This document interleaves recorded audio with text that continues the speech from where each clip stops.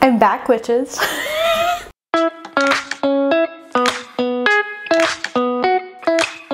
How's everyone doing? Oh, it's so nice to be in front of a camera again. My little Leo self was like, I'm not getting enough attention. That's a joke, by the way. Thank you so much for everyone who continued to watch my content and support me through my shop, through my Patreon over my month-long break. It was the most needed thing in the world. And in fact, my editor has actually has taken on a new job.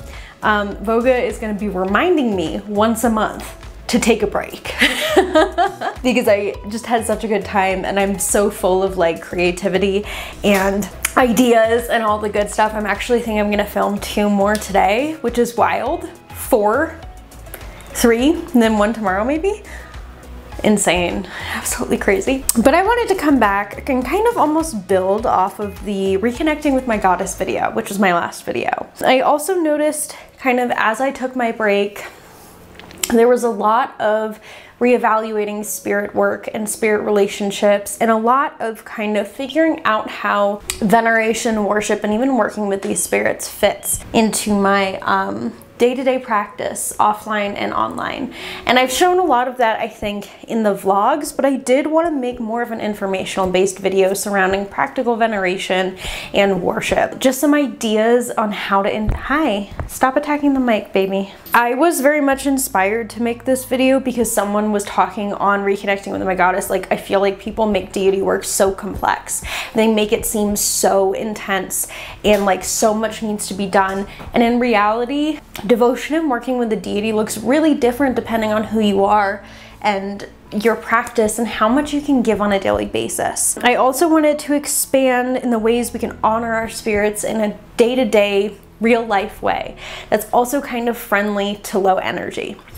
I read something by Jason Miller today. We're reading Financial Sorcery for our book club, which by the way, it's turning out to be an amazing book.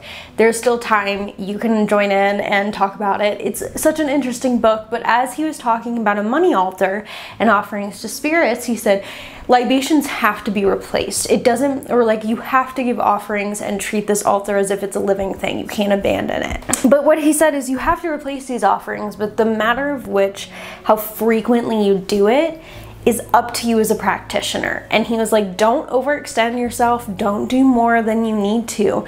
Know what your limits are and commit to it. So for me, there are things that I do once a month every like the first Friday, the first Wednesday of every month. And then there are things that I do every two weeks or try to do at least weekly, which I think really influences the kind of offerings we give. If we give offerings like water, coffee, food that can mold, you have to replace those or they go bad. And so I only have a couple things on each altar that I actually replace every day, but I have things that I do for those altars and spirits like every week or once a month. Some of them every week, mostly my ancestors everyone else once a month.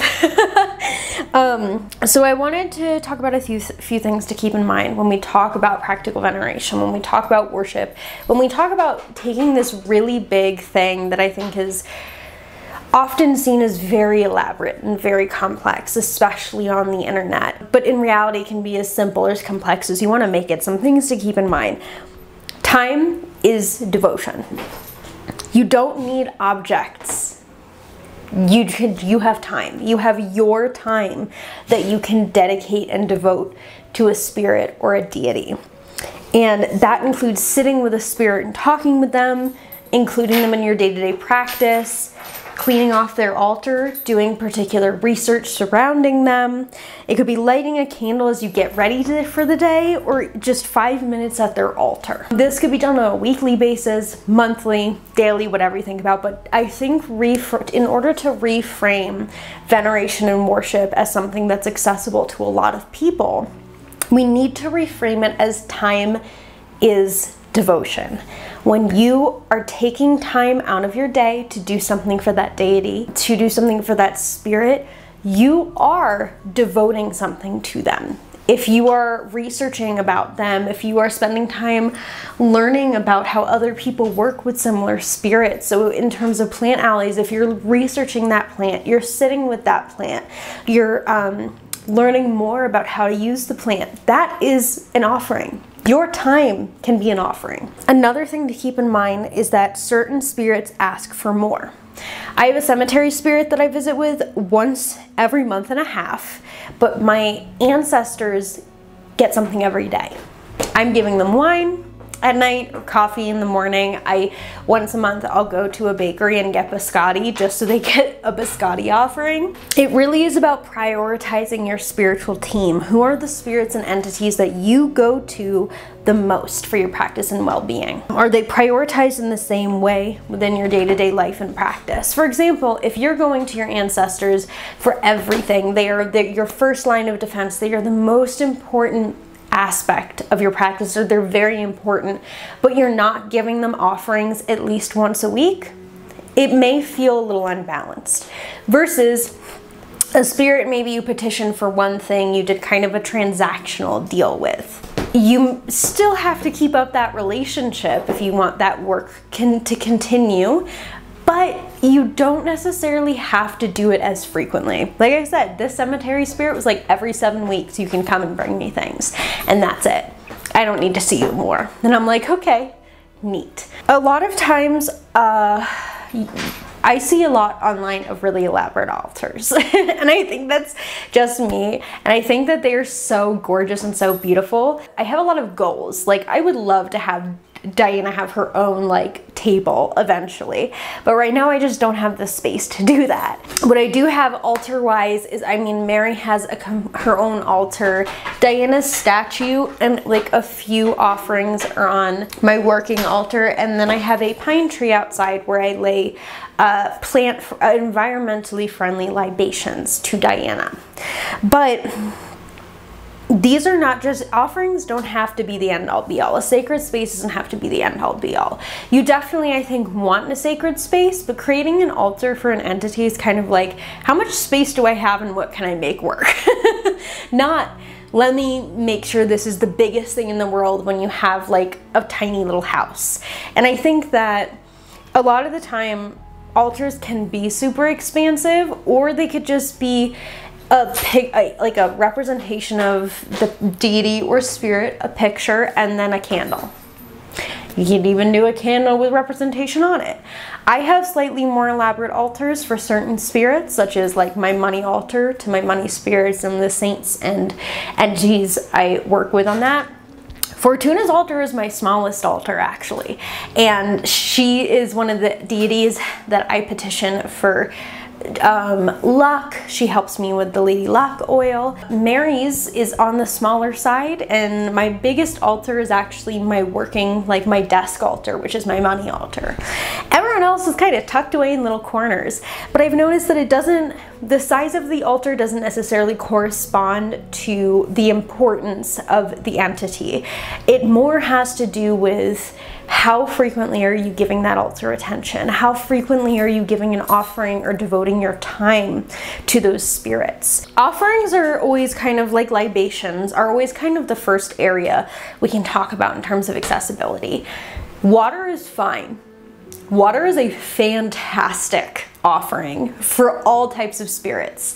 I know of someone in my in my Discord who was like, I just give my deities water a lot of the time and they love it. And I'm like, they fucking love water. Water is great. Water is fantastic if you want to do food, coffee, liquor, you can do that. Fresh offerings can be replaced as you feel daily. For me, every couple days I'm switching out liquid offerings, mostly because I don't like how they dry in my vessels. But like I said, ancestors get something every day. My money altar gets something like maybe once a week. Um, some of my altars don't even have uh, liquid offerings. That's only for two of my altars and two kind of spirits or two collections of spirits. Mary gets has oils like like holy water, a candle, and a statue. And I don't really touch her altar a lot. She's just kind of right there. I'll use things off her altar or burn a candle to her if I really need her assistance, but I don't do a lot of offerings to her. I just have her space and I keep it maintained. Offerings in terms of food uh, can also be cooking something cookies they like. If an ancestor or spirit has a very specific dish they love, you can give them that. Libations or offerings of water or food may not be something that's accessible. So then we're talking about time, right? Or activities that you can do. So there are kind of like three sections with ideas, offerings, time, active or offerings, activities, time. Some activities you can do wearing devotional oils or jewelry. I have two devotional oils, three in my store. One's for Fortuna, one's for Diana, one's for Mary. I wear them depending on who I'm trying to connect with more, or I use them in spells where I want their influence to come in.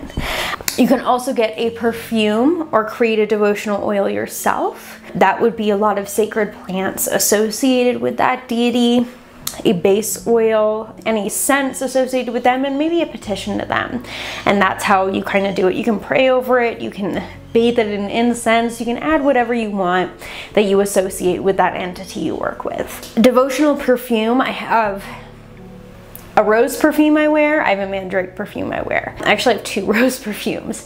Both of those are when I want to like when I want to bring mandrake more into my life, I'm wearing mandrake. When I want to bring rose more into my life, I'm wearing a rose perfume. And it's like devoting my day or my activities while I'm wearing that to the spirit. You can actually say that too. You can put it on and be like, I'm devoting this to you. You can wear necklaces, jewelry, bracelets that you devote to something, scents, uh, spending time with them, or more kind of activities you can do. Um, that kind of overlap with time. You can spend time researching the entity, you can spend time tending to their altar, you can uh, create something for them, like a candle, an oil. That's an activity. Uh, you can do an activity that brings attention to them and their teachings or is something that they would have done. So, for example, if I am want to devote some time to Diana, maybe I'll write a Patreon blog post that month about Diana and her epithets, which I actually did do, available at the Rosa tier. Or with my ancestors, if I want to devote an activity to them, I try cooking. Um, and I cook a traditional Italian dish, or I make Sunday sauce, or I try my hand at something new that they would have eaten a lot of. I also could spend time learning the language. For different spirits, if you're looking at plant spirits, local spirits, you can spend time cleaning things, taking out um, invasive plants if they're a native plant, uh, watering them, even going out of your way to water a plant every day because that's what I have to do with my outdoor plants that's devotional. You're spending time with that plant, you're tending to that spirit, and that is in itself a devotion because you are taking the time to do something for that spirit. You're doing an activity with that spirit. More kind of fun things you could do is you could like go on a walk, you could teach a class, you could do something in honor of that deity that includes their name, you could make a post about them if you wanted to. A lot, like I said, a lot of spirits are going to ask for more. Certain spirits may require a certain amount of something in order to keep up that relationship. This is in part about you prioritizing which spirits have the most and deities have the most effect in your life and giving them the most attention but it's also in part that sometimes you meet a spirit who doesn't want a lot or wants a lot and maybe it's not that frequently but it may be a lot like financially, so you have to plan for it. In my experience, a lot of spirits and deities will tell me what offerings they want. Diana really prefers when I devote activities to her, when I create things in her name or offer services in her name, or just kind of spread and like write and teach about her. On the other hand, my ancestors are very personal. They love when I cook with them, I light their candle and I cook, when I clean my house, when I bring values that they also valued into my life in a really real and tangible way. They are single-handedly why I keep my clean my house every week now. Never used to do that. I was not a cleaning person. That is devotion that's also part of my routine. Hello? Apollo, please. That's so bright. That's also part of kind of my devotion to myself. Keeping my space clean allows me to create better, it makes me feel better, it makes me happy. It's very meditative. On the other hand, on my money altar, I have a ritual I do first Wednesday of every month that includes every single aspect of like my money altars or the spirits I work with for money, whether that's anointing things in their name, giving them new offerings, feeding them incense, smoke, uh, certain types of oils. I give them that attention and I plan for it because I know it's going to take up more of my time. And that's why I do it monthly and not weekly because I will forget if I do it on a weekly basis. this is also recognizing oh, these bigger rituals I need to plan for. I need to set aside a day to do it. Or these bigger offerings, these times when I'm going to spend the whole day working and feeding spirits and spending time with them, I have to really like say, that's happening this day. Can't do it any other day. Versus switching out water, switching out brandy, switching out wine, that takes me a couple minutes. It is easier for me to do physical libations and offerings than it is actually to do a lot of other things. I find that I have to take a lot more time to plan out more elaborate rituals or spells and that it's easy for me to remember to do coffee every morning. Maybe spend five minutes uh, pulling a card with my ancestors' candles lit. Uh, and I am lucky to kind of have that be accessible to me, whereas other things may be accessible for other people. Practical veneration and worship, I hope this video gave you ideas, but at the end of the day, this is about you kind of sitting down and being like, who do I really, who really supports me spiritually? Who do I have time for? How can I bring what what what is accessible to me? And i know all of my videos are like this at this point where i'm like do what works for you. But in this case it really is doing what works for you. It's sitting with your spirits and saying okay what do you need from me and what can i give you is that going to be where your biggest kind of influence in your life gets an offering every day? Or is that going to be they get an every week and everyone else is kind of every other month or every few weeks? Is it plausible for you to spend time kind of creating these more elaborate rituals where a lot of spirits get taken care of at once?